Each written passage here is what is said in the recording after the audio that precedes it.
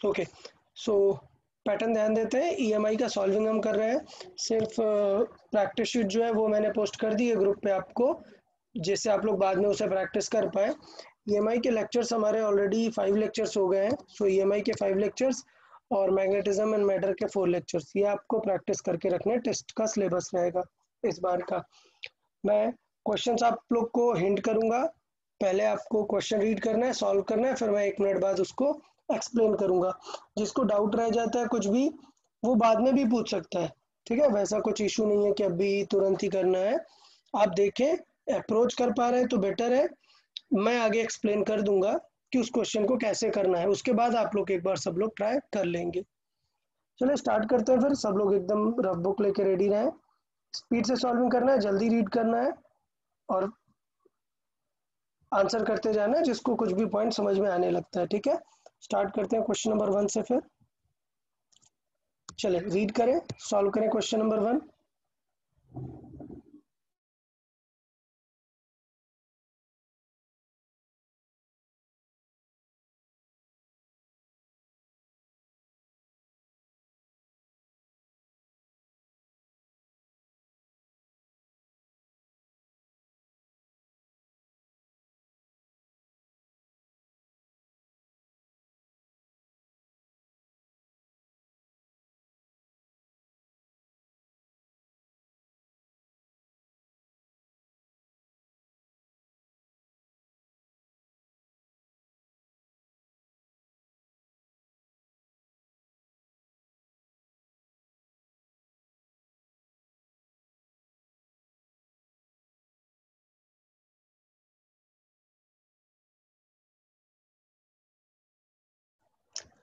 चले तो बताए किसे आइडिया लग गया क्वेश्चन नंबर वन कैसे जज करेंगे?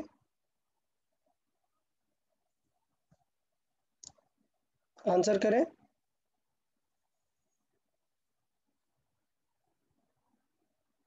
सर वो ईएमएफ वो बी को अपोज करेगा तो ओके बी को अपोज करेगा ईएमएफ ईएमएफ का फॉर्मूला क्या रहता है? नहीं नहीं मतलब V B L V B L conductor move कर रहा है क्या? Okay, d, uh, so d by dt. d by dt. So it is minus d by dt. और if I see तो एरिया लेट्स एफ़ एक्स ही है तो magnetic field देखें अगर एक लूप है वो फिक्स है ठीक है? सो so, लूप की टेंशन नहीं है इसका मतलब क्या चेंज हो रहा है? बी चेंज हो रहा है ना? सो so, एरिया बाहर आ जाएगा क्या आएगा? D B by D T अब ये D B by D T क्या चीज़ होता है? स्लोप अब जल्दी से बताओ। किसके लिए ईएमएफ e ज़्यादा होगा? फोर्थ के लिए। अरे यार मार खाओगे यार तुम। सेकंड के लिए। सेकंड के लिए। दिख नहीं रहा कि ये सेम हाइट के लिए ये लेंथ कितनी ज़्यादा है और इसमें लेंथ कितनी कम है? नहीं समझ आ रहा कि फोर्थ का स्लोप ज़्यादा होगा। किसका स्लोप ज़्यादा होगा? Second second will has highest slope किसी को कोई डाउट नहीं। ओके गुड देखें सेकंड नंबर देखें सेकंड में तीन सर्किट दिए हुए तो मैं ये आपको बोल रहा था कि ये सर्किट वाला भी लीव करना है ठीक है? सर्किट वाला भी हमने डिस्कस नहीं किया हुआ है। ये कौन सा सर्किट है? एलआर सर्किट है। ऑल इतना टफ नहीं है बट टेस्ट में अभी इंक्लूड नहीं करने वाला हूँ तो इनको मैं नेक्स्ट लेटर लेक्चर पे हम डिस्कस कर लेंगे। अच्छा आप लोग को मैंने कहा था कैपेसिटर वाला पढ़ने के लिए आरसी सर्किट एक बार पढ़ने के लिए। किसी ने किया आरसी सर्किट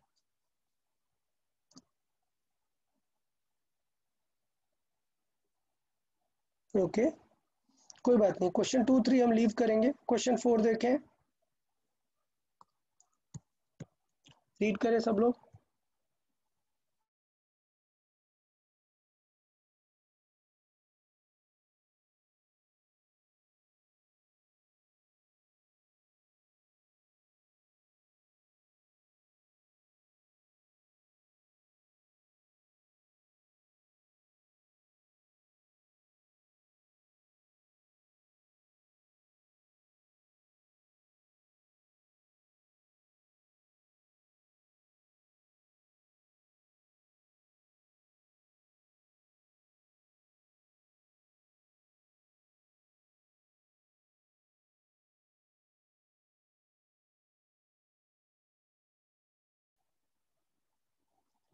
बताएँ, किसे समझ में आ गया एग्जैक्ट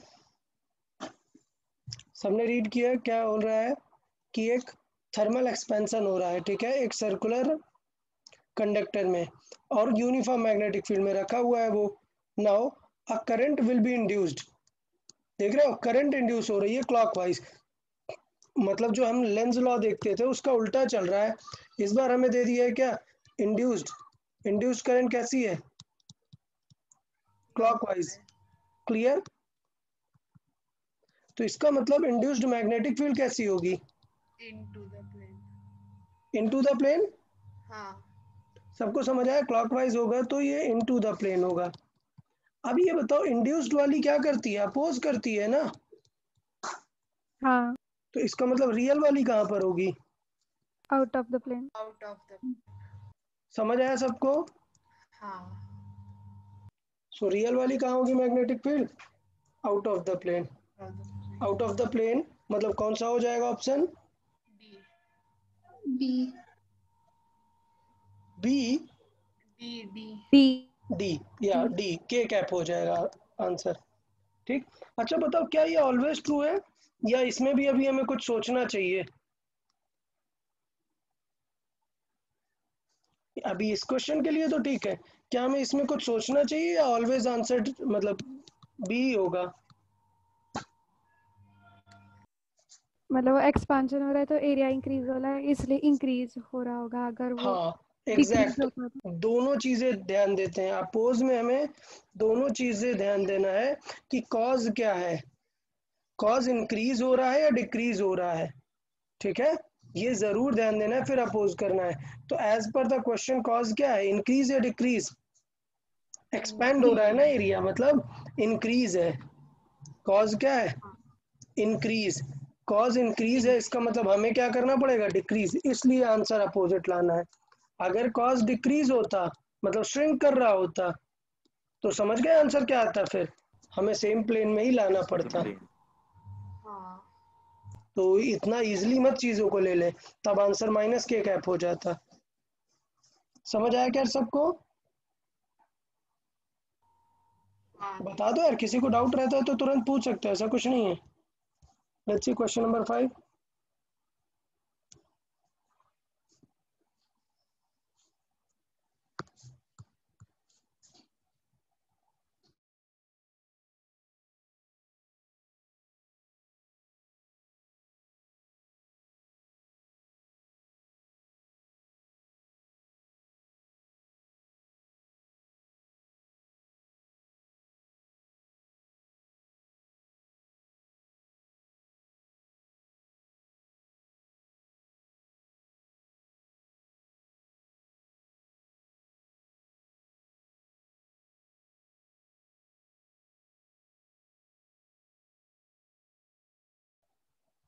ओके, जिसका आंसर आ जाता है, वो टेक्स्ट बॉक्स में मैसेज भी कर सकता है। और टेक्स्ट बॉक्स में मैसेज आंसर की देख के मत कर देना, क्योंकि मैंने प्रैक्टिस शीट व्हाट्सएप पे डाल दी है ग्रुप पे सबको। सो आंसर की से देख के नहीं कर देना है सॉल्व करना है। सिंपल क्वेश्चन ऐसा कुछ कॉम्प्लिकेटेड नहीं बट अच्छा है। A circular loop of resistance R ठीक है? Enclose area is subjected to a magnetic field मतलब देखो बी आपको दिया हुआ है। परपेंडिकुलर टू द प्लेन अब आपको क्या चाहिए? इंड्यूस्ड करंट चाहिए। ठीक है? At time is equal to zero तो वो टी ज़ीरो तो रख देंगे। बट कुछ याद दिलावे अगर हमें इंड्यूस्ड करंट चाहिए तो सबसे पहले हमें क्या चाहिए होगा? क्या होता है current EMF EMF by R ठीक है? और इंड्यूस्ड ईएमएफ कैसे निकालते हैं यार? बताएँ। Minus D D phi by D T very good और D phi by D T में देखे तो एरिया तो फिक्स है। क्या हाँ। चेंज हो रहा है? बी चेंज हो रहा है। तो माइनस एरिया फिक्स है। क्या चेंज हो रहा है? बी चेंज हो रहा है। अब के इसका मतलब क्या निकालना है हमें? इसका स्लोप निक, आ, निकालना है डिफरेंशिएशन तो देखो बी क्या लिखा हुआ है।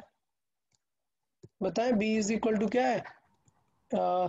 B not E to the power minus B T clear differentiate करें इसे, क्या आएगा?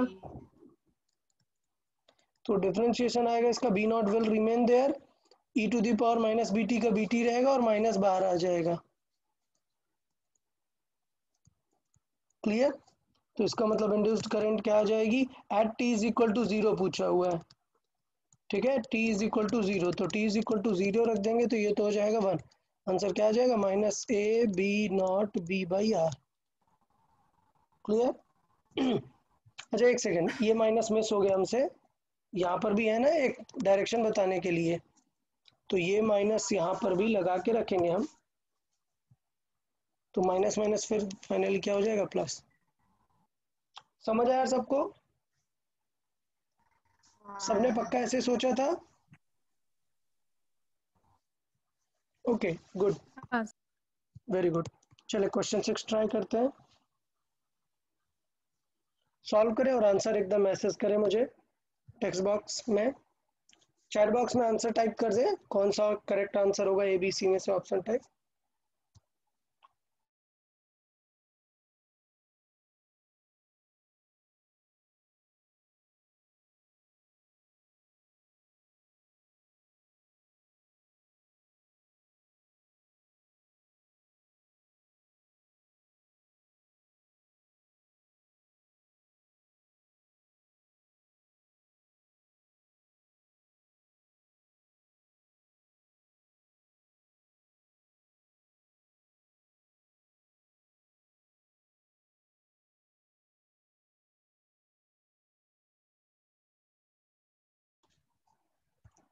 okay very good यार. Very good Ashutosh, Gauri, Zoya very good चले तो मुझे लग रहा है कि आप लोगों ने अच्छे से समझ लिया क्वेश्चन देखो क्वेश्चन में क्या पूछ रहा है? एरिया गिवन है रेजिस्टेंस गिवन है, और बी का फ़ंक्शन गिवन है पूरा। और इंड्यूस्ड करंट पूछा हुआ है। तो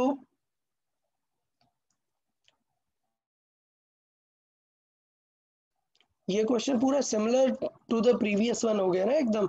सेम चीज़ पूछा हुआ है। तो अभी तो मैं बार बार नहीं लिखूँगा मैं इंड्यूस करंट देख लूँगा। एरिया फिक्स है रेजिस्टेंस फिक्स है सिर्फ़ डीबी बाई डी चाहिए। क्लियर नेगेटिव तो क्या आंसर आ जाएगा? रख देते हैं वैल्यू माइनस ए कितना है? वन आर कितना है? टेन और स्लोप किस टाइम पे पूछा हुआ है? वन वन सेकेंड पे।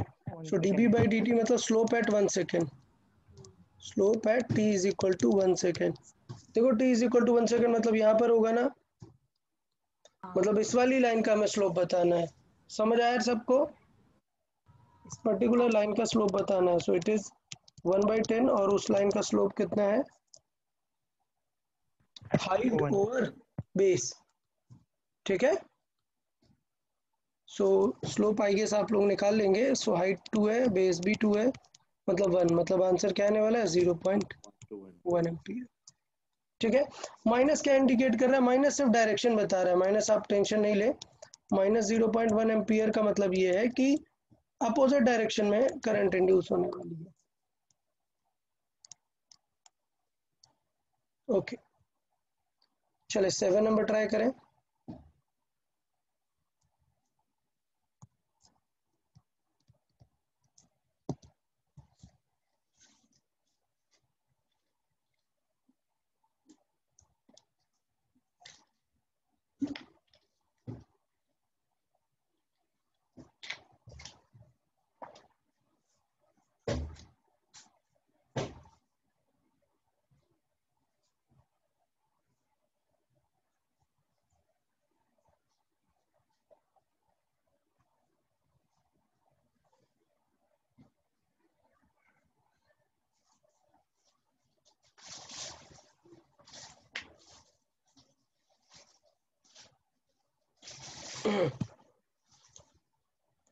चले।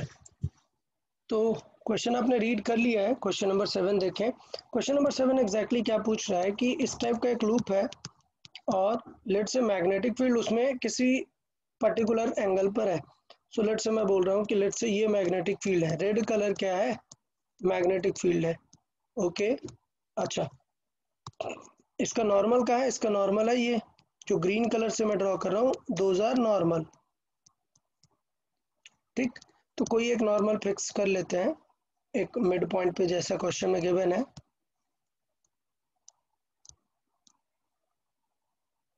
अब पॉइंट समझे कि सपोज़ मैंने ये नॉर्मल देखा।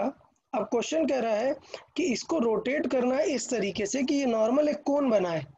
मतलब कुछ ऐसे कि ये हमारा फिक्स है मैग्नेटिक फ़ील्ड और ये इनके बीच एंगल है और इसको ऐसे रोटेट करना है।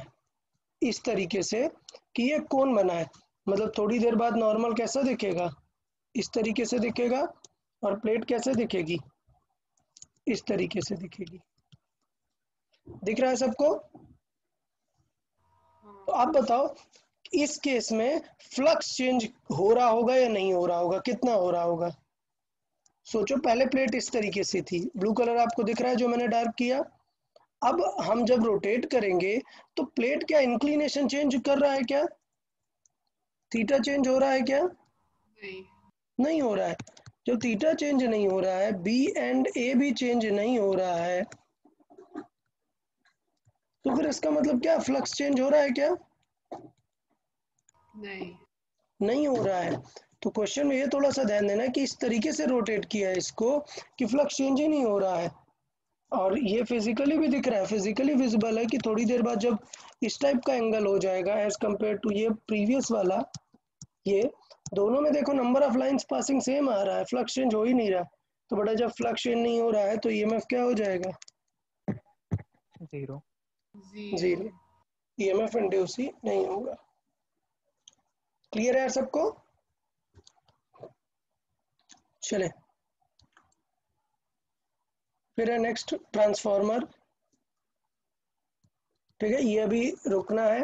अभी हमारे टॉपिक जो बचे हुए हैं, वो एलआर सर्किट बचा हुआ है एलसी सर्किट बचा हुआ है एलसीआर सर्किट सर्किट्स बचे हुए हैं और डिवाइसेस बचे हुए हैं। डिवाइसेस मतलब जनरेटर मोटर एंड ट्रांसफार्मर ठीक है? सो आपको थोड़ा ध्यान देना है जनरेटर मोटर और ट्रांसफार्मर थोड़े से इजी चीज़ें हैं, इतना कुछ कॉम्प्लिकेटेड नहीं है बट फिर भी इन चीज़ों को अभी हमें डिस्कस करना बाकी है तो इन पे क्वेश्चंस नहीं रखेंगे हम। डन तो ये वाला देखें, ये ट्रांसफार्मर का क्वेश्चन है, फिर लिखा हुआ है generator supplies this to a transformer मतलब ये वाला अभी हमें नहीं करना है। चलो क्वेश्चन नंबर टेन ऑब्ज़र्व करें टेन रीड करें।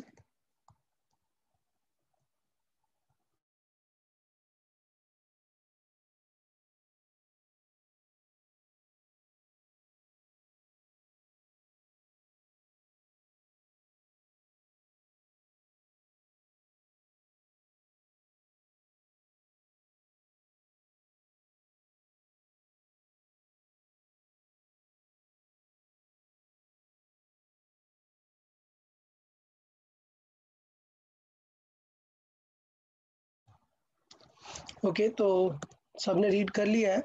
कोई आंसर करना चाहेगा? क्या करेक्ट होगा? Option B option B B हाँ। ओके और कोई सिमिलर सबको समझ आ रहा है? बी ही लग रहा है या कोई different opinion if the switch is closed after some time मतलब ये क्लोज किया। अभी ये ओपन है। क्लोज करेंगे तो क्या होगी? करंट फ्लो होने लगेगी। ठीक है? So, if the switch is closed and after some time it is opened again, the close loop will show तो सिचुएशन क्या होगी आपको देखना है? देखो, पहले क्या होगी इसमें? जब क्लोज होगा, एक करंट जाएगी। और थोड़ी देर बाद करंट क्या हो जाएगी? जब भी ज़ीरो हो जाएगी। तो पहले क्लोज था और जैसे ही क्लोज करने के बाद हमने थोड़ी देर बाद ओपन कर दिया।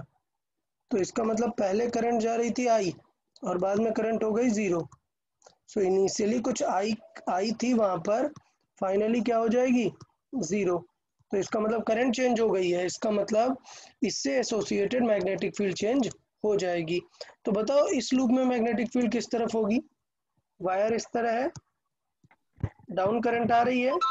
और यहाँ पर ये लूप रखा हुआ है। बताएँ लूप में कैसी है direction the plane. Out of the plane. मार खाओगे यार तुम। Out of the plane. Out of the plane होगी ना एरो डाउनवर्ड है राइट हैंड रूल लगाओ। एरो डाउनवर्ड है इसका मतलब सर्किल ऐसे आके बाहर आएगा। यहाँ पर इनटू द प्लेन होगा और यहाँ पर आउट ऑफ़ द प्लेन होगा। समझ आया सबको? आउट ऑफ़ द प्लेन तो अब कॉज क्या है? पहले मैग्नेटिक फ़ील्ड क्या था? बी आउट था। और जैसे ही करंट ज़ीरो हो गई बी क्या हो जाएगा? ज़ीरो तो बताओ मैग्नेटिक फ़ील्ड डिक्रीज हुई है इंक्रीज डिक्रीज हुई। बी डिक्रीज हुई है। गुड बी डिक्रीज हुई है। बी डिक्रीज हुई है। तो कॉज है डिक्रीज होना। अब हम क्या करेंगे? इंक्रीज करना चाहेंगे। इंक्रीज करेंगे। इंड्यूस्ड वाली क्या होगी? इंक्रीज करेगी इसे। इंड्यूस्ड वाली इंक्रीज करेगी तो बताएँ क्या हो जाएगा? करंट किस तरफ़ आएगी? मतलब सॉरी डायरेक्शन क्या होगी अगर हमें इंड्यूस्ड को इंक्रीज करना है? उसी। उसी डायरेक्शन में सेम डायरेक्शन में। तो प्रीवियस उसमें मैं यही समझाना चाह रहा था कि सेम डायरेक्शन में रखेंगे। तो क्या सिचुएशन होगी? जस्ट होल्ड अ सेकंड हाँ तो बताएँ अभी क्या सिचुएशन होगी? क्लॉकवाइज करंट होगी। क्लॉकवाइज करंट होगी। ठीक है? अभी किसी को कोई doubt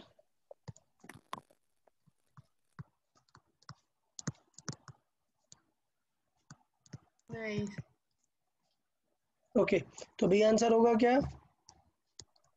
A A option done हाँ. हाँ. ओके गुड फिर से एक बार रीड कर लेते हैं। कुछ भी डाउट हो तो आप बता सकते हैं।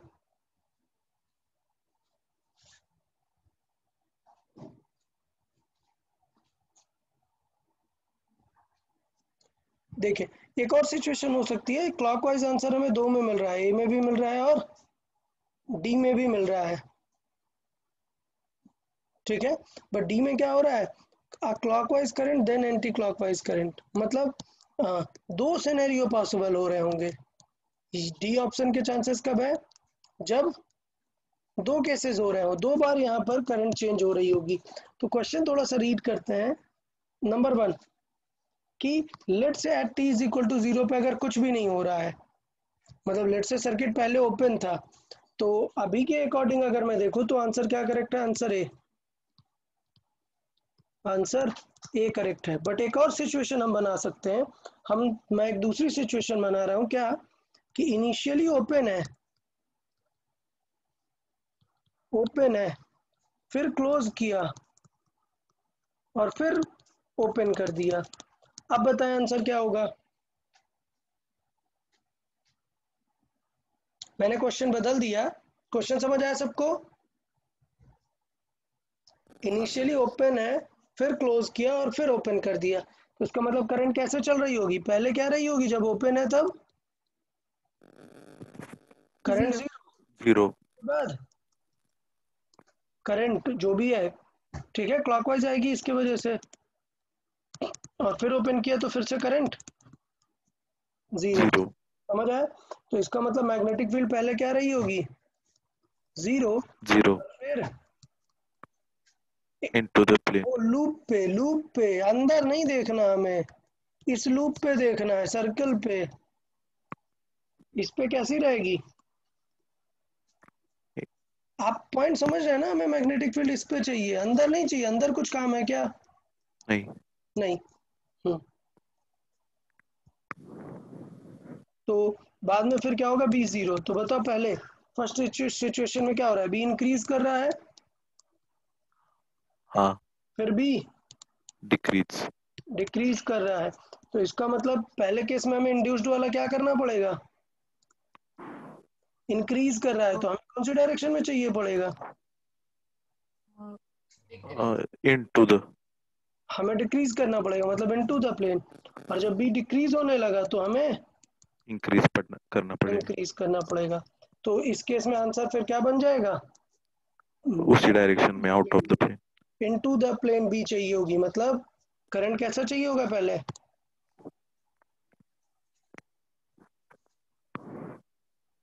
क्लॉकवाइज। क्लॉकवाइज इसके लिए क्लॉकवाइज और फिर इसके लिए एंटी क्लॉकवाइज एंटी क्लॉकवाइज एक minute out of the plane मतलब एंटी क्लॉकवाइज ये गलत करा दिए तुम लोग। ये क्लॉकवाइज कहाँ रहेगा? ये तो एंटी क्लॉकवाइज रहेगा ना? आउट ऑफ़ द प्लेन हाँ। चाहिए। एंटी क्लॉकवाइज ओके सबको?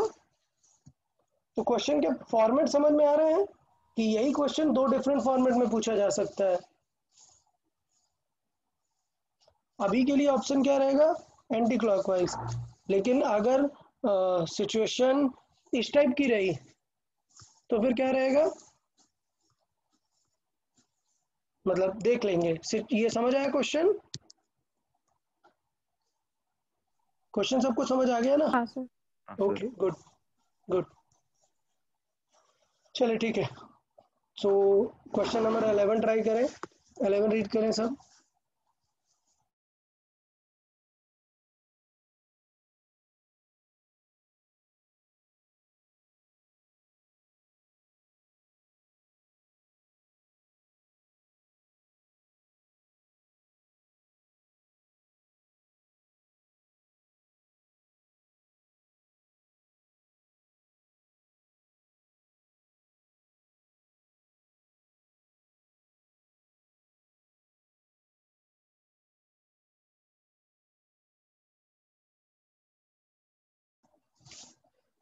बहुत जल्दी सॉल्व कर सकते थे यार इसे।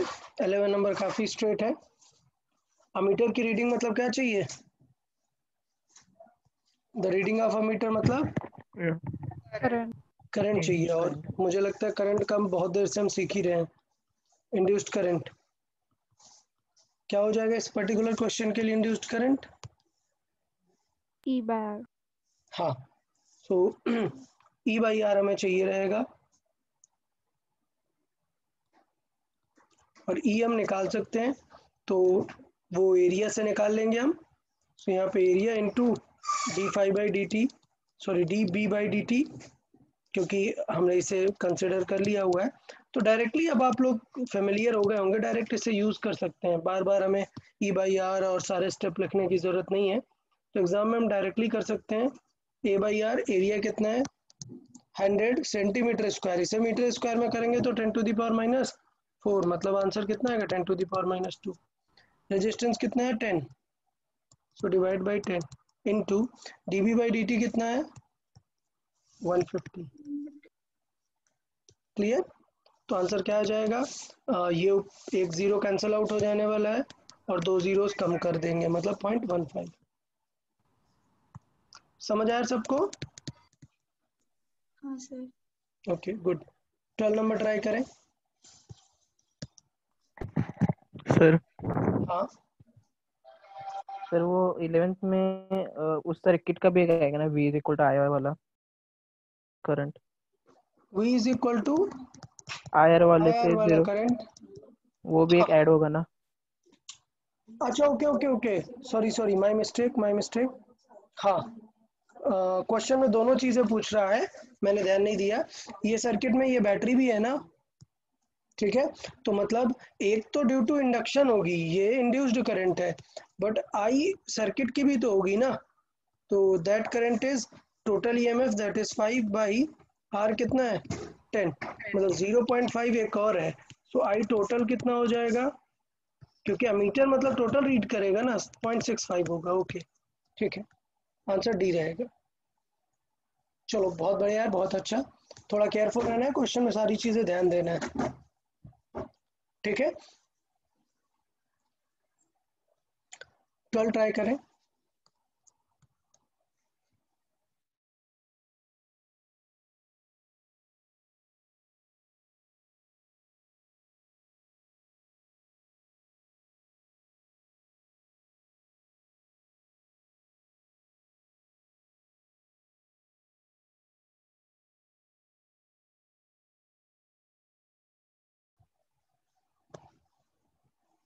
ओके। तो ट्वेल्व में क्या है? समझ आ गया आप लोग को कि हमें ईएमएफ चाहिए। ठीक है? किस सिचुएशन में EMF in the loop would include तो किस सिचुएशन में ईएमएफ आ सकता है? तो बताए क्या क्या सिचुएशन में ईएमएफ आ सकता है। अगर हम बी चेंज करेंगे तो ईएमएफ आ सकता है? बिल्कुल। आ सकता है, क्योंकि फ्लक्स चेंज हो जाएगा। Change in R with time R क्या है? रेडियस तो आर चेंज करने से क्या चेंज हो जाएगा? एरिया एरिया चेंज हो जाएगा तो आर चेंज करने से एरिया चेंज हो जाएगा मतलब ये भी इंक्लूड होगा। फिर B being non uniform in space मतलब यूनिफॉर्म नहीं है बी इससे क्या प्रॉब्लम होगी? इससे क्या प्रॉब्लम होगी? ईएमएफ जनरेट होगा क्या इससे?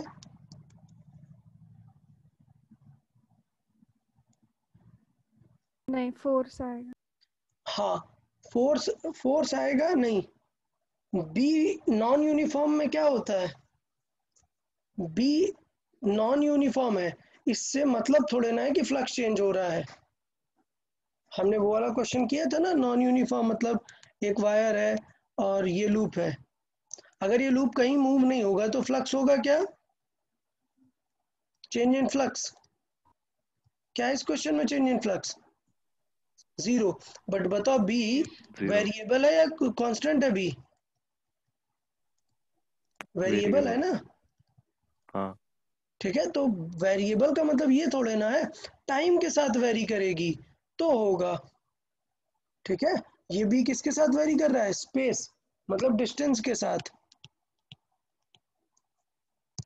इसका मतलब क्या है? डिस्टेंस समझ आया? अगर टाइम के साथ वेरी करेगा तो फिर होता। If B vary with time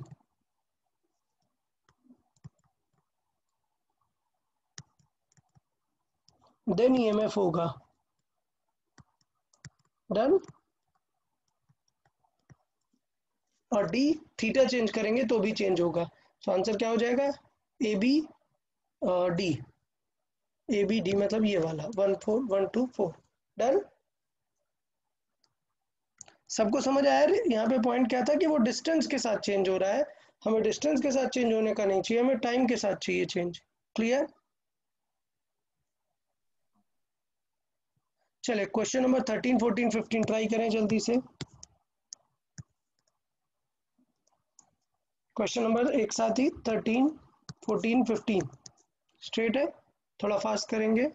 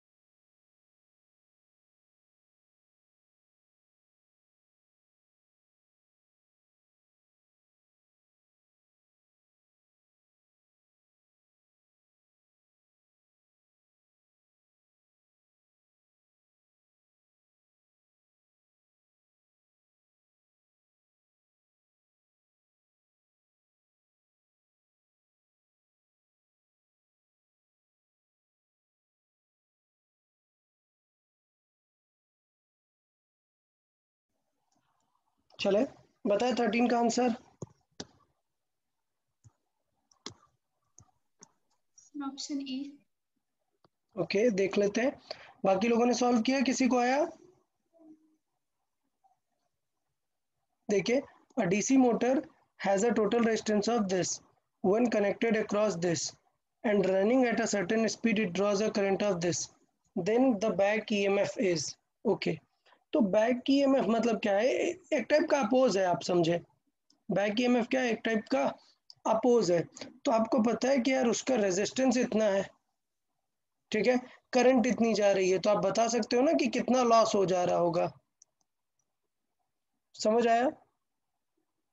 तो बेसिकली बैक की M F is a loss अगर वो 10 एम्पियर आप देखें, एक मोटर है, अगर वो 10 एम्पियर करंट जा रही है और उसका रेजिस्टेंस इतना है तो कितनी करंट उसमें वेस्ट हो जाने वाली है? ठीक है? वो चीज़ हमें यहाँ पे निकालनी होती है। तो मैं बेसिकली लिखाऊँगा कि अपोज कितना हो रहा है या लॉस कितना हो रहा है, वो देखना है हमें।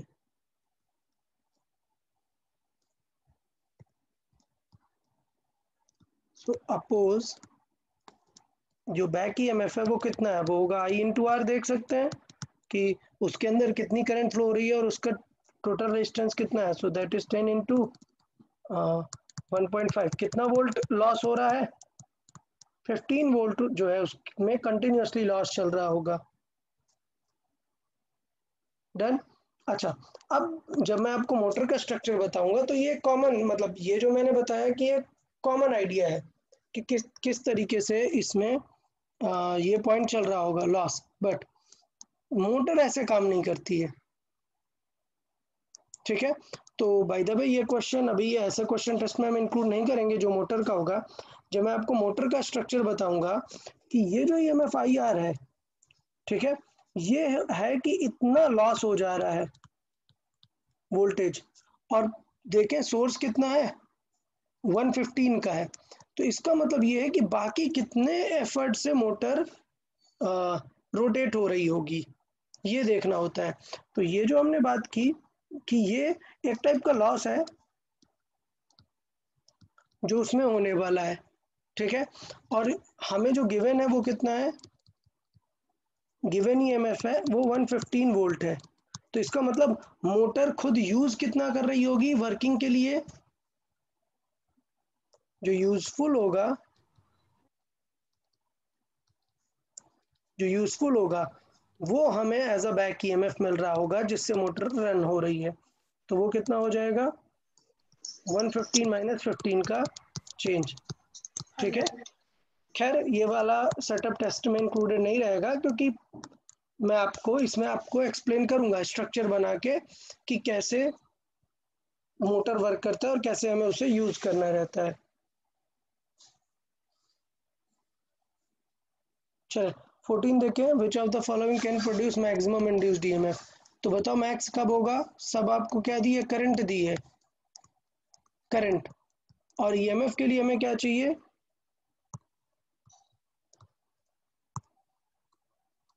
मैक्स ईएमएफ कैसे पता चलेगा कि मैक्स ईएमएफ है? तो देखें can produce the maximum in an inductor. बताए इंडक्टर में ईएमएफ कैसे निकालते हैं?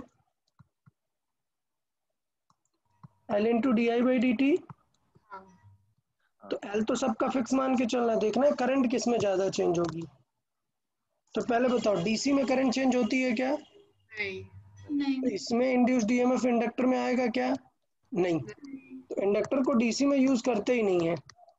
क्लियर अब बचे हमारे पास दो ऑप्शन क्या? एसी वाले। तो पहले आपको ये समझना पड़ेगा कि एसी मतलब क्या है एग्जैक्टली एसी मतलब ये है कि सपोज़ एक करंट है तो वो पहले प्लस है, फिर माइनस है। पहले प्लस है, फिर माइनस है लाइकवाइज टाइम पीरियड क्या होता है? यहाँ तक। तो इतने टाइम पीरियड में वो प्लस से माइनस में चेंज हो जाती है। ठीक? तो सबसे ज़्यादा मैक्सिमम चेंज कब होता है? अब बताओ, किन दो पॉइंट पे सबसे ज़्यादा मैक्सिमम चेंज होगा? एक ये वाले पॉइंट पे और एक ये वाले पॉइंट पे। क्यों? क्योंकि यहाँ पे पॉजिटिव की मैक्स है और यहाँ पर नेगेटिव की मैक्स है। तो मैक्सिमम चेंज कहाँ पर होगा? मैक्स चेंज कहा से होगा? Positive max to negative negative max अच्छा तो मतलब डी आई पता चल गया। क्या ढूंढना बाकी है अभी? डी टी टाइम क्लियर तो बताओ टाइम किसमें ज़्यादा लगेगा? जिसकी टाइम देखें तो इनवर्सली प्रोपोर्शनल टू फ्रीक्वेंसी है ना? क्लियर सो फ्रीक्वेंसी ज़्यादा इसका मतलब टाइम कम। टाइम कम तो चेंज क्या हो जाएगा? ज़्यादा ना? ईएमएफ ज़्यादा होगा। तो देख ले। क्योंकि करंट तो जो मैक्सिमम करंट है वो दोनों में सिमिलर है। मैक्सिमम करंट की कोई टेंशन नहीं है। तो यहाँ से फिर हम पॉइंट आउट कर सकते हैं। समझ आया सबको? तो कौन सा ऑप्शन ज़्यादा होगा? जिसकी फ्रीक्वेंसी ज़्यादा। मतलब ये वाला। तो जिसकी फ्रीक्वेंसी कम होगी वो नहीं नहीं देखे ना। टाइम पीरियड और फ्रीक्वेंसी उल्टा होता है। तो फ्रीक्वेंसी ज़्यादा मतलब टाइम पीरियड कम टाइम पीरियड डिवाइड में टाइम पीरियड कम मतलब ये ओवरऑल वैल्यू क्या होगी? ज़्यादा होगी ना? समझ आया सबको? हाँ okay good fifteen number try करें। फिफ्टीन तो स्ट्रेट है एक बार रीड कर लें।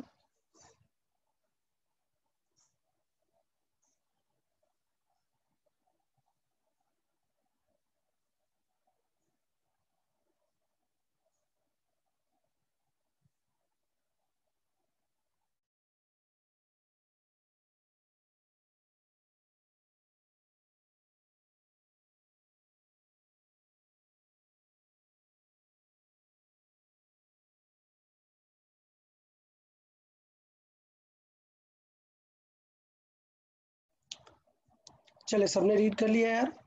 देखिए two circular loops of equal radius are placed coaxially at separation the first is cut and battery is inserted in between to drive a current the current changes slightly because of the variation of resistance with temperature during this period the loops will okay तो देखो situation क्या कर दिया question में?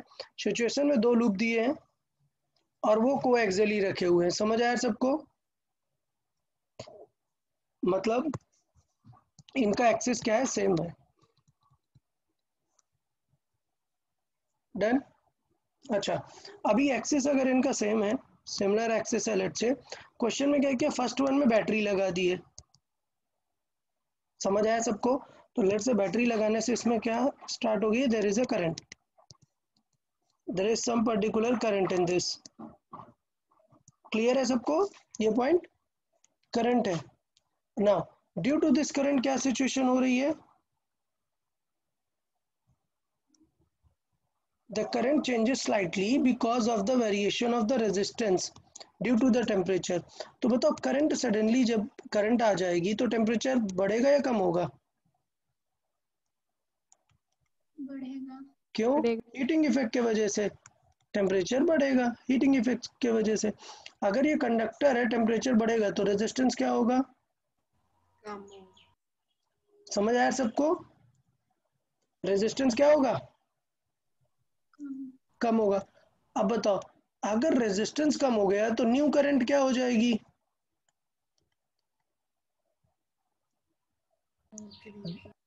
बढ़ेगी या कम होगी? बढ़ेगा। ओके सो देख लेते हैं हम। सिचुएशन सबको समझ में आई फिर से रीड कर लेते हैं। कोई टेंशन हो तो बताएँ। सबसे पहले क्या किया? दो लूप थे हमारे पास फ़र्स्ट और सेकंड देन अभी क्या हुआ? आ, हमने क्या किया? एक करंट लाने के लिए हमने एक बैटरी कनेक्ट कर दी और हमने वहाँ पर एक करंट इंट्रोड्यूस की। डन अब सिचुएशन क्या होगा कि करंट अगर वहाँ पर आ गई तो इसका मतलब आई स्क्वायर आर से टेम्परेचर क्या होगा? उसका बढ़ने लगेगा। ओके फिर आ, अगर टेम्परेचर बढ़ेगा तो रेजिस्टेंस उसका क्या होगा? कम होगा। रेजिस्टेंस कम होगा। कंडक्टर में।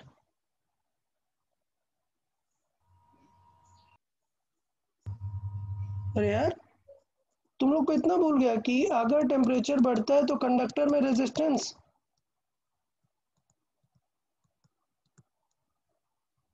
बढ़ता है। क्या नहीं याद आ रहा क्या?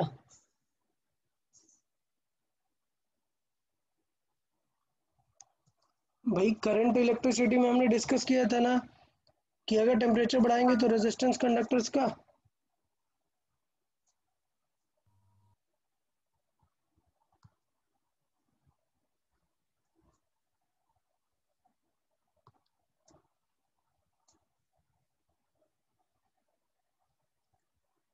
देखें इफ़ेक्ट ऑफ़ टेम्परेचर में हमने डिस्कस किया हुआ था।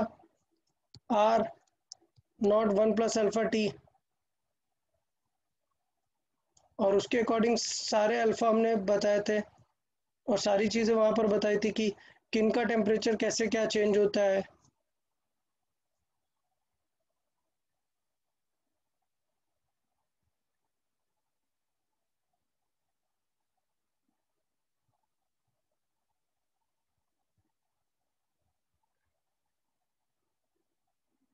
सबको याद आ गया? करंट इलेक्ट्रिसिटी में हाँ। एकदम फ़र्स्ट लेक्चर में हमने सारी चीज़ें यहाँ पे बताई थी आपको टेम्परेचर रिलेटेड ये देखें। इनका अल्फ़ा क्या होता है? पॉजिटिव होता है। तो टेम्परेचर इंक्रीज करने से रेजिस्टेंस इंक्रीज करेगा। सेमीकंडक्टर में उल्टा होता है। ठीक है? और जो डिफरेंट टाइप ऑफ़ एलॉयज होते हैं उनमें इवन नियरली कांस्टेंट भी रहता है। चले तो सिचुएशन ये हुई कि यहाँ पर रेजिस्टेंस इंक्रीज होगा। रेजिस्टेंस इंक्रीज होने से क्या होगा? न्यू करंट क्या होगी? डिक्रीज होगी।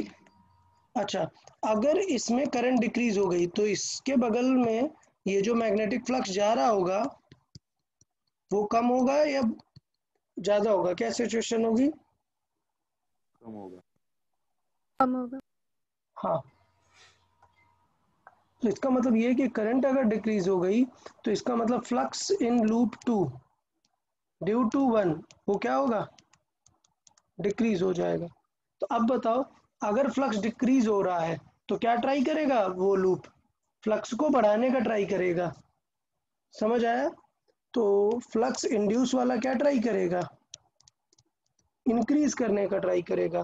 तो इंक्रीज करने के लिए क्या सिचुएशन होगी? लूप पास आएगा या दूर जाएगा?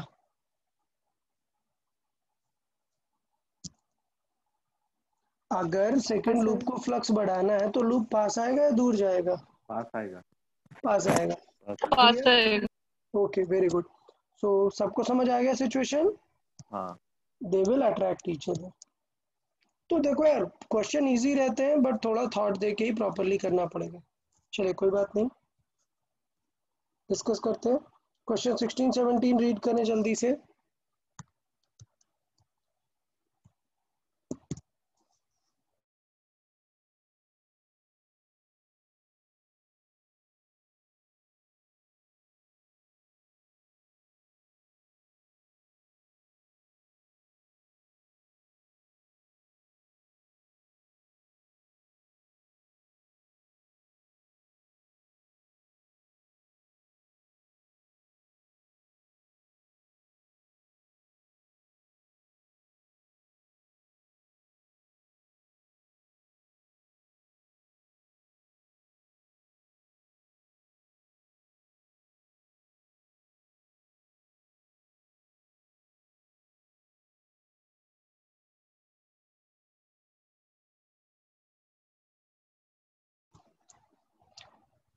चले सिक्सटीन रीड किया सबने। एक रॉड है उसको कांस्टेंट वी से मूव करा रहे हैं। डन तो आप बताएँ कि अगर हमें पोटेंशियल डिफरेंस चाहिए तो क्या होना चाहिए? मैग्नेटिक फ़ील्ड कैसी रहनी चाहिए? परपेंडिकुलर रहनी परपेंडिकुलर रहनी चाहिए। V must be perpendicular to b. Why? Because the formula for emf full V formula जो आता है। Yeah v cross very good b dot v dl cross b dot dl तो पहले तो वी क्रॉस b ज़ीरो नहीं होना चाहिए मतलब पैरेलल तो हो नहीं सकते। ठीक है? अच्छा ये जो लेंथ है लेंथ भी तो इसी प्लेन में रहने वाली है। तो मतलब किसी के भी पैरेलल नहीं हो सकता है वी हाँ। कुछ भी हो जाए बी को परपेंडिकुलर ही रहना चाहिए। तो अगर वी पैरेलल टू l हो जाए V parallel to l vector तो आंसर क्या आ जाता है? याद है अगर वी ऐसा हो जाए? तो ईएमएफ क्या आएगा? Zero zero zero second case देखे v पैरेलल टू b. अगर v पैरेलल टू b हो जाए तो तो फिर सिचुएशन ही गड़बड़। ये वाला भी गया। V parallel to b. क्या आएगा? ज़ीरो आएगा। वो तो बिल्कुल पॉसिबल ही नहीं। थर्ड सिचुएशन देखें। बी पैरेलल टू एल तो बी पैरेलल टू एल तो इसी टाइप की सिचुएशन आ जाएगी ना उसमें भी ईएमएफ नहीं आएगा। मतलब इनमें से कोई भी सिचुएशन नहीं है जो ईएमएफ जनरेट कर पाए। क्लियर हाँ। ओके गुड 17 रीड करें।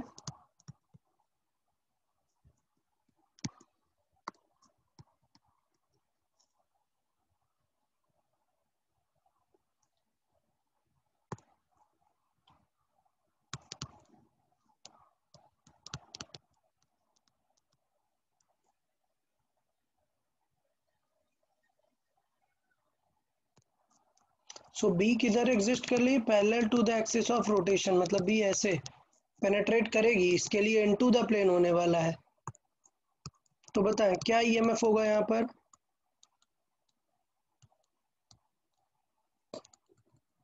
याद है कुछ फॉर्मूला चलिए इस तरह कर लेते हैं A B C EMF across A B बताएँ। बताइए ईएमएफ अक्रॉस ए बी क्या आएगा? Half b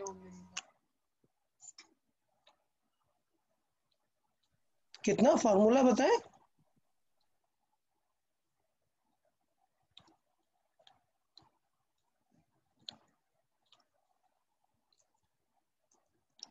B omega square किसी को फॉर्मूला याद है कि रोटेशन वाले केस में हम एक रॉड को जब ओमेगा से रोटेट कराते हैं तो ईएमएफ कितना आता है?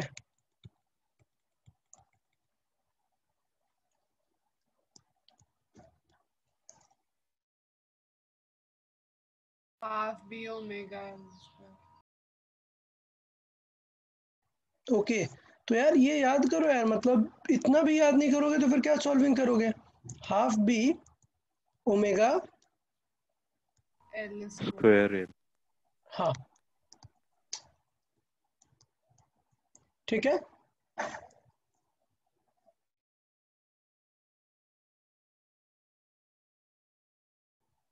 तो बताएँ इस केस में आंसर क्या हो जाएगा? इस केस में ए बी के क्रॉस पूरी लेंथ कितनी है? एल पूरी लेंथ एल है। तो एल बाई टू रखेंगे ना यहाँ? प्रीवियस लेक्चर में देखे यार मैंने पूरा सिखाया हुआ है ये चीज़ें। फिर ओमेगा l स्क्वायर होता है।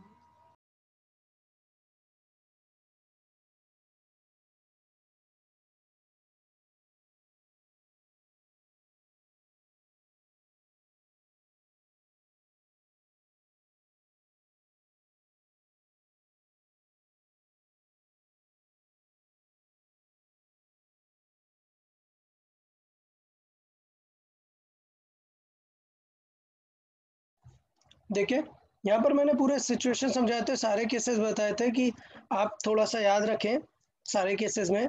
सिचुएशन थोड़ा सा प्रॉपरली याद रखेंगे तो बेटर रहेगा, आपके लिए भी सॉल्विंग के लिए भी। तो मैंने बताया था कि अगर एक रॉड का रहेगा तो B omega L square directly use कर सकते हैं। फिर हमने इस तरीके से एक बड़े रॉड के लिए चेक किया हुआ था कि नेट कैसे निकालते हैं क्रॉस दीज टू पॉइंट्स तो हमने बताया कि चेक करो कि ये बैटरी किस टाइप की बनने वाली है। ओके? और फिर उसके अकॉर्डिंग हमने यहाँ पर इसे देखा कि दोनों अपोजिट बैटरी बनने वाली हैं, कैसी? दोनों अपोजिट बैटरी बनेंगी तो उस फॉर्मेट में हम उन्हें सब्ट्रैक्ट कर सकते हैं। तो इसका मतलब यहाँ पर जो सिचुएशन होगी वो एडिटिव नहीं है। किस टाइप की रहेगी? सब्ट्रैक्शन वाली सिचुएशन रहेगी। तो जो ई ए बी का होगा सिमिलर हमें पता है सिमिलर हमारा हो जाएगा किसका? बी सी का। Half B omega L square और दोनों की वैल्यू क्या हो जाने वाली है? सब्ट्रैक्ट हो जाने वाली है। अच्छा एल की जगह क्या होने वाला है यहाँ पर? एल बाई टू यूज़ होने वाला है। क्लियर। ओके तो सिचुएशन क्या हो जाएगी? दोनों कैंसिल आउट हो जाएँगे। नेट ईएमएफ क्या आएगा? ज़ीरो ज़ीरो आएगा। ठीक है? ऐसा ज़रूरी नहीं है कि हर बार हो। अगर मैं किसी random point L by four के अबाउट रोटेट करूँ तो फिर आंसर आएगा कुछ ना कुछ। आप लोग सॉल्व करेंगे। डन ओके गुड चले क्वेश्चन नंबर एटीन रीड करें।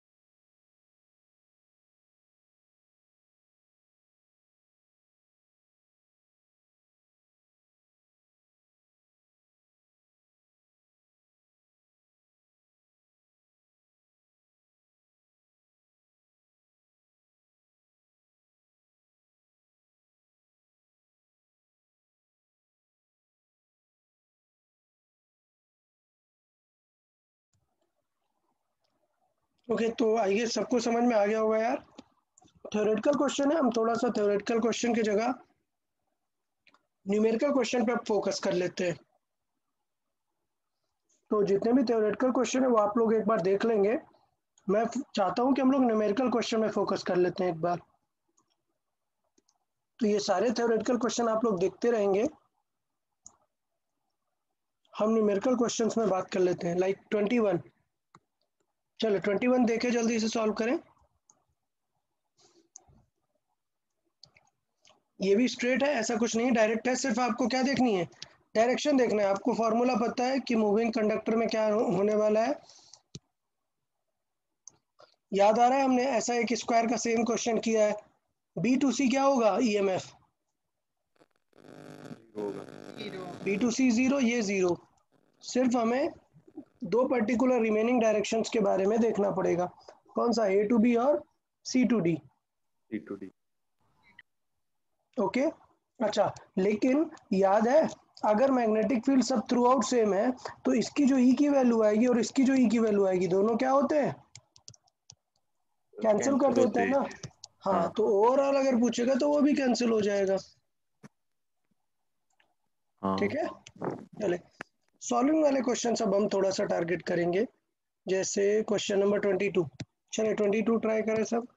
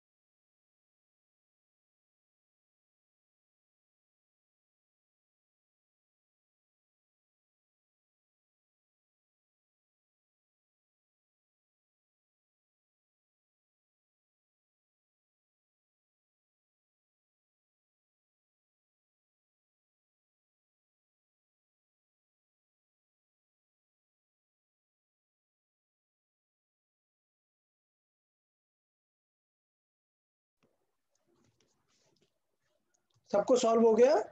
ट्वेंटी टू नंबर हमसे क्या पूछा हुआ है? फ्लक्स ठीक है? फ्लक्स हमें बताना है। तो फ्लक्स बताने के लिए कोई फॉर्मूला देखें।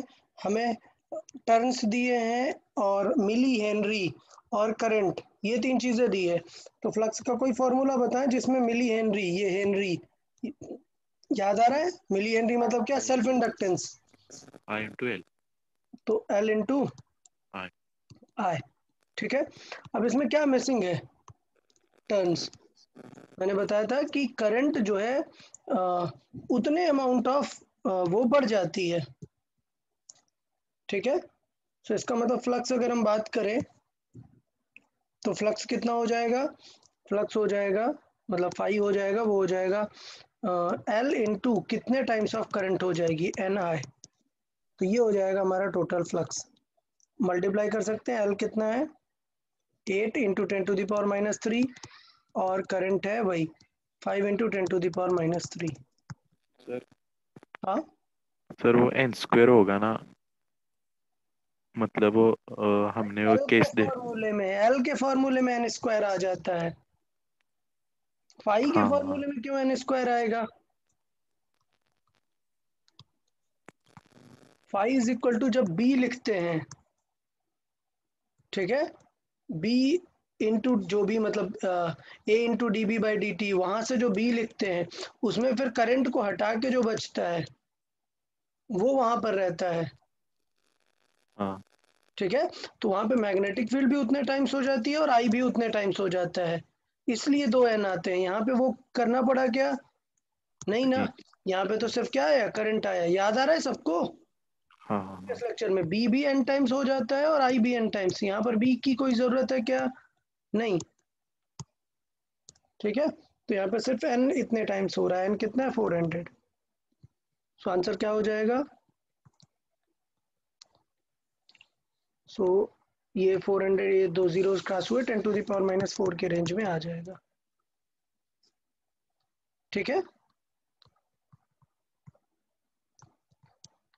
अभी इसमें एक पॉइंट है एक प्रॉब्लम है कि सारे ऑप्शन में म्यू नॉट दिया है। तो कंपेयर कर लो यार आपको पता है mu naught related value mu naught by four pi की वैल्यू क्या रहती है? हाँ। ठीक है। तो इससे हम म्यू नॉट को कंपेयर करके चेक कर लेंगे कि म्यू नॉट बाई पाई सब सारे ऑप्शंस में दिख रहा है। तो म्यू नॉट बाई पाई के टर्म्स में आंसर को लाने का ट्राई करना है। समझ आया? तो इसमें से हम ये कर सकते हैं। अच्छा एक चीज़ और, एक चीज़ और मिस हो रहा है। Magnetic flux through each turn पूछा है। हम तो क्या निकाल रहे हैं? टोटल निकाल रहे हैं ना हम। इसलिए टोटल है, इसलिए हमने एन का मल्टीप्लाई किया। अगर फॉर ओनली वन लूप होता फॉर ओनली वन लूप होता, तब क्या करते हैं? तब हमें सारे लूप कंसिडर करने की ज़रूरत थी क्या? नहीं।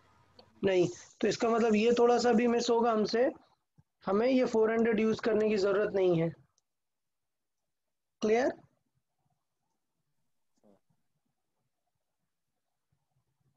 सबको समझ आ रहा है ना प्रॉपर तो आंसर अकॉर्डिंगली हम एक बार देख लेंगे।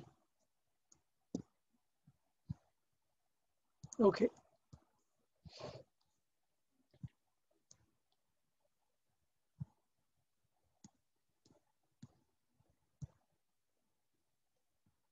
देखिए, काफ़ी बताया हुआ है ट्वेंटी फाइव इस टाइप के क्वेश्चन चले बताए ट्वेंटी फाइव रीड करें।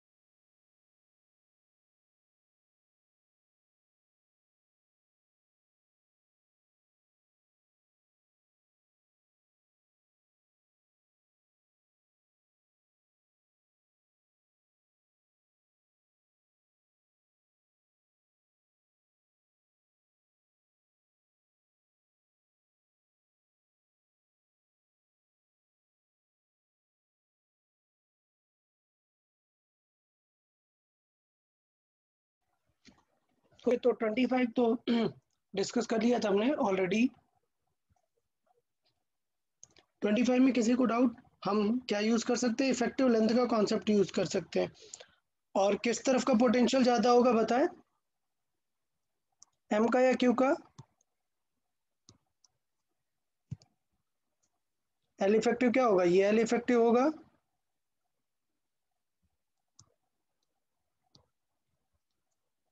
और ये मूव इस तरफ़ कर रहा है। और magnetic field into the plane है तो परपेंडिकुलर टू द पाम किस तरफ़ आएगा? ये होगा ना perpendicular to palm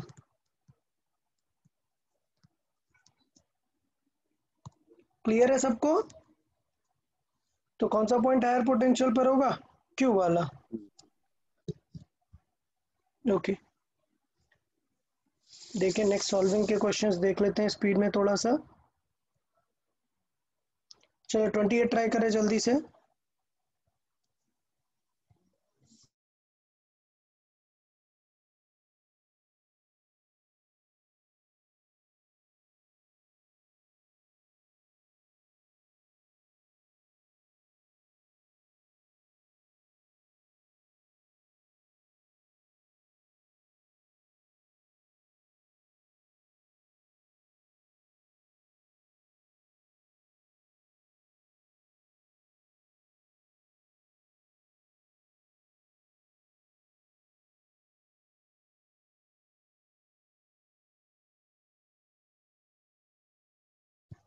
okay okay, इसमें थोड़ी सी एक अलग चीज़ पूछ ली आपसे। The rate at which work is being done to keep the wire moving with a constant rate rate of work done कोई भी याद दिलाएगा? रेट ऑफ़ वर्क डन मतलब क्या चीज़ हो जाएगा? रेट ऑफ़ वर्क डन मतलब क्या? पावर है। अच्छा पावर है तो पावर के लिए फॉर्मूला मैंने बताया था। क्या होता है? Square square R straight I square R और आई निकालना हमें पता ही है कंडक्टर के लिए कैसे निकालते हैं आई ई बाई आर से। क्लियर ई कहाँ से आ जाता है? वीबीएल से। क्योंकि मूविंग कंडक्टर है लेंथ का तो ई को क्या लिख सकते हैं? वीबीएल इसका स्क्वायर और आर स्क्वायर रहेगा तो रिमेनिंग एक आर बचेगा। डन और सॉल्व कर सकते हैं। कोई डाउट किसी को? नहीं। ओके गुड तो ये पॉइंट भी हमने एक बार डिस्कस कर लिया था।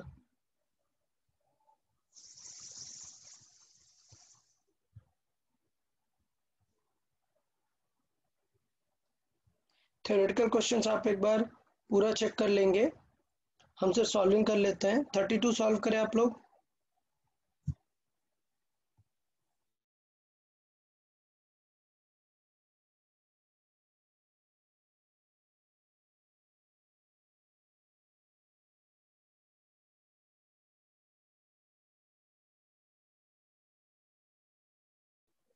ओके थर्टी टू नहीं करें, क्योंकि अभी ये नहीं बताया हुआ एक पर्टिकुलर इंस्टेंट पे एल आर सर्किट का क्वेश्चन हो गया। सॉरी एल सर्किट का क्वेश्चन हो गया सर सिर्फ़ एल सर्किट का क्वेश्चन हो गया।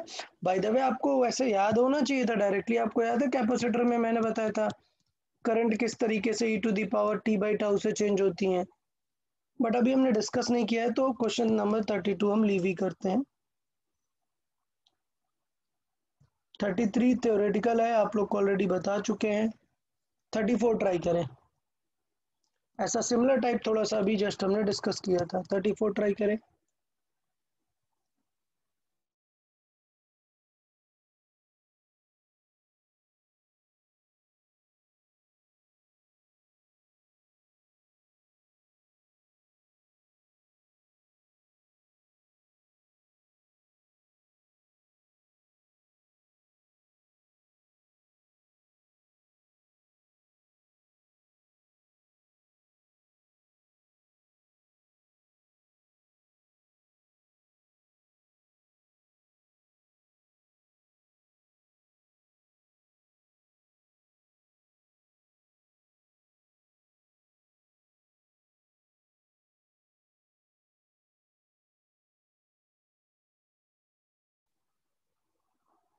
ओके थर्टी फोर थोड़ा सा अलग रहेगा, लेकिन हमने सिमिलर पार्ट डिस्कस किया है। देखो क्या चेंज हो रहा है।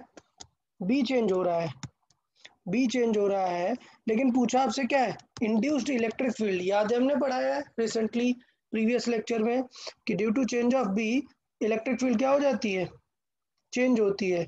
तो कैसे निकालते हैं इलेक्ट्रिक फ़ील्ड याद दिलाए, क्या था? Close integral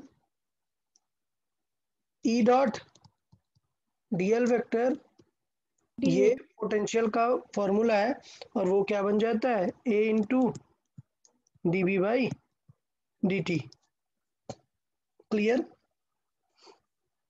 तो देखो ये हमें किस पॉइंट पर चाहिए? पूरे लूप के लिए ही चाहिए पूरे रेडियस के लिए चाहिए। सो so, क्या हो जाएगा? E into two pi R is equal to area कितना? पाई आर स्क्वायर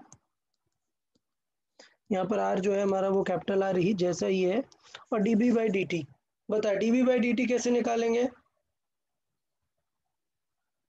फ्रीक्वेंसी आपको पता है?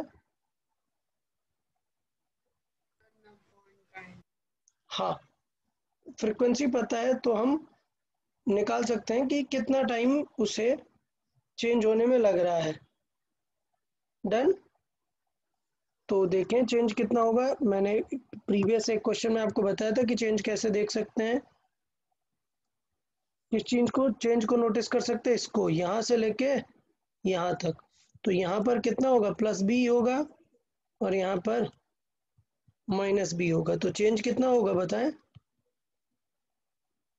टू बी और टाइम टेकन कितना होगा? हाफ़ टाइम लगेगा ना यहाँ तक। बताए कोई डाउट इसमें?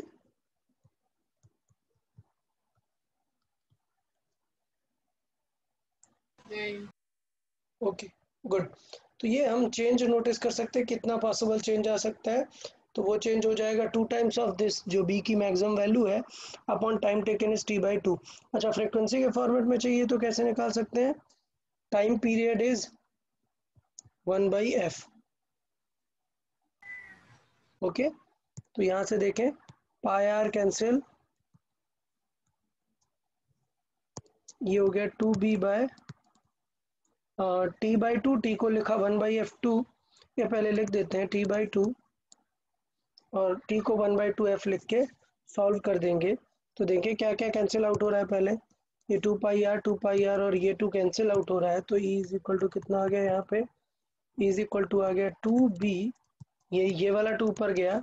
Upon T into R clear है? और टी को हमने लिखा वन बाई एफ़ तो वन बाई एफ़ ऊपर चला जाएगा टू बी एफ़ आर ये हमारी सर आर डिवाइड में आएगा ना? आर डिवाइड एक आर कैंसिल होगा ना? एक आर तो बचेगा ना? हाँ हाँ। ठीक है? सर ए इंटू आर है ना? तो इधर न्यूमरेटर में तो इधर डिनोमिनेटर में आएगा ना। हाँ सॉरी सॉरी सर हाँ ठीक है। चले नेक्स्ट ट्राई कर लेते हैं। थर्टी सिक्स ट्राई करें।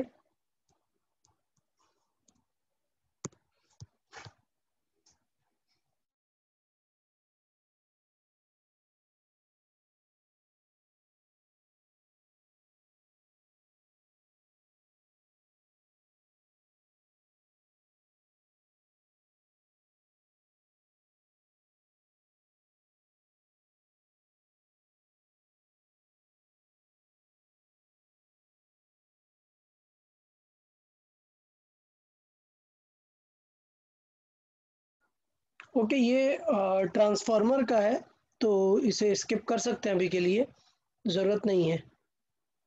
ठीक है? सो ट्रांसफार्मर का है, इसे हम इंक्लूड नहीं करेंगे। सिखाने के बाद बाकी सारे जो भी डाउट्स हैं, वो हम डिस्कस कर लेंगे। ये सारे जो ग्राफ्स है, ये मैंने आपको ऑलरेडी करवा दिए हुए हैं तो आप लोग एक बार प्रैक्टिस कर लेंगे। ये भी थ्योरेटिकल है। ये एल आर सर्किट है तो इसे भी अभी हमें पढ़ना बाकी है तो ये फिर हम तब कर लेंगे। ये भी पोटेंशियल दिया है और सर्किट्स दिया हुआ है मतलब ये भी एलसीआर सर्किट का ही है।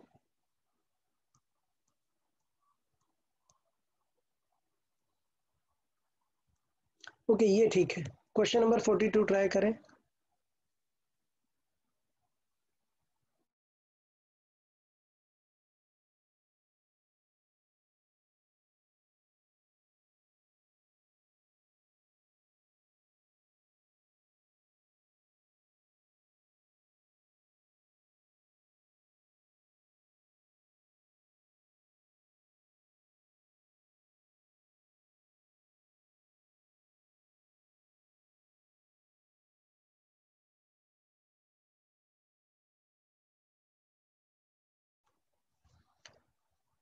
ओके okay, तो ये बाय द वे सॉल्विंग का कोई क्वेश्चन नहीं है थ्योरेटिकल क्वेश्चन है ये एक रिंग है और एक मैग्नेट को ड्रॉप कर दिया।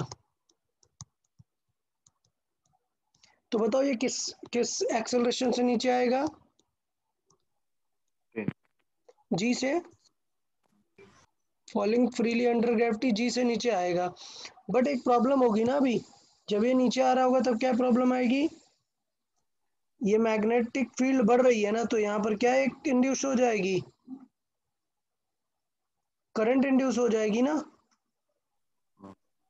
क्लियर और वो करंट इस तरीके से रहेगी कि ये वाला पोल कैसा काम करने लगेगा? नॉर्थ पोल जैसा। नॉर्थ पोल जैसा काम करने लगेगा और इधर वाला साउथ तो बेसिकली ये क्या क्रिएट करेगा एक? आई इंड्यूस करेगा विच विल अपोज समझ आया? तो इसके वजह से इसका नेट एक्सेलरेशन कितना हो जाएगा फिर? कुछ कम हो जाएगा ना? So a net must be less than g समझ आया क्या?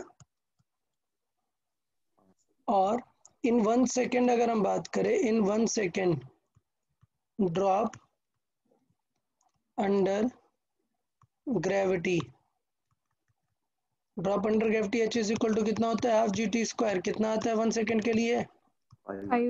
फाइव मीटर तो इसका कम कम कवर करेगा क्योंकि एक्सेलरेशन थोड़ा सा कम हो गया है। ठीक है? हाँ। ओके